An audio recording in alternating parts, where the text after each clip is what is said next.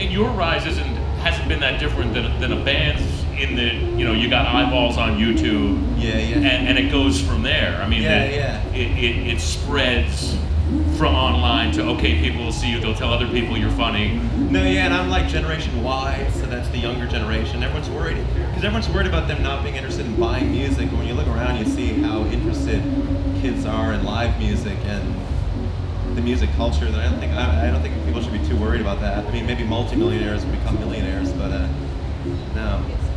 Yeah, I mean, we touched on this on some of the other panels, but when you do look out, and, and maybe you're you're reading the Times and you're seeing the statistics and whatnot, and you know it, it looks like music's in this decline. But then you go out here, and people are living and breathing music and putting up with quite a lot for four days to be part of that. Do you see that in the faces when you look out? And that's open to anyone here. I mean, Yeah, I think that um, uh, th- there's still a real urge to go see live bands and live music, and uh, you don't get that as much as you used to. It used to be able to.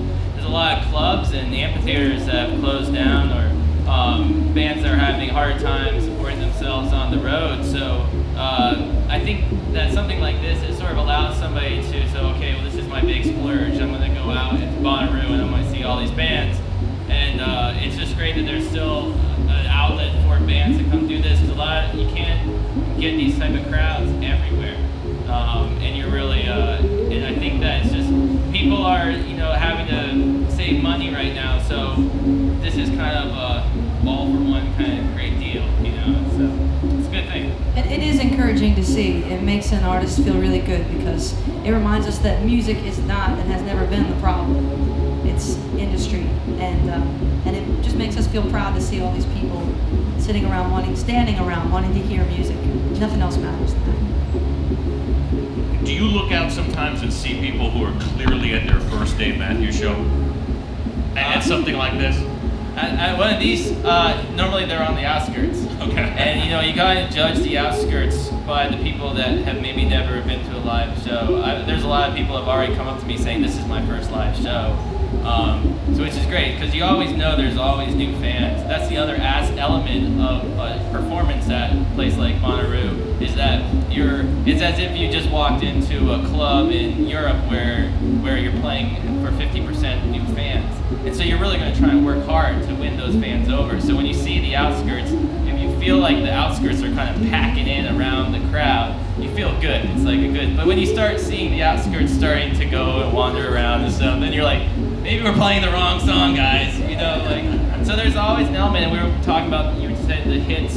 You know, it's a. Oh, I saw Kings of Leon last night, and uh, you know, definitely when the the top songs came out, you know, the crowds were got on top of it, and uh, it's nice to throw those in there once in a while. But you also really want to make sure that you're giving uh, the crowd a true performance of what you're about. So you don't want to do all hits, but it's nice to throw in a few for the outskirts and the people who might not have seen a live show but might have heard a song on the radio. I mean, and Ozomatli's a, a groove and a vibe at the same time that carries people through whether they've seen you or not. I mean, is that always easy to craft in a festival setting?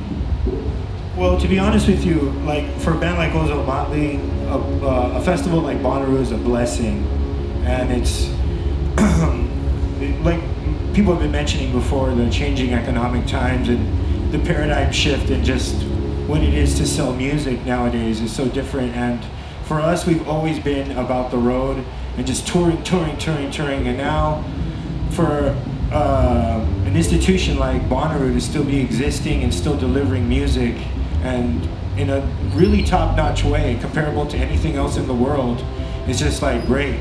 So for us to still be, I don't know, it's like our third or fourth time doing it. It's just great for us. It's a blessing. Is there, uh, I mean, Taylor, when when you were, you know, working these sort of side stages, um, I mean, you could you could see that those were new fans. Um, the goal, I guess, is to drive them what to, to keep them. Um, what are you thinking about up there, or is it, hey, this is what we do and let's show it to them? Well, it's very easy to like. It's, it's been very easy to psych myself out by seeing these um, incredible acts on these huge stages, and immediately losing my patience and being like, I want to do that. That's the, that's what it is to play Bonnaroo. And then I, I stop myself and I think like, actually these small shows, there's not as many people here, but it's just as important to to um, to these uh, the audiences, and it's in you know they, they feel like it's, it's it's really wonderful for them to come up to me and, and they they take pride in, in not everybody else being there.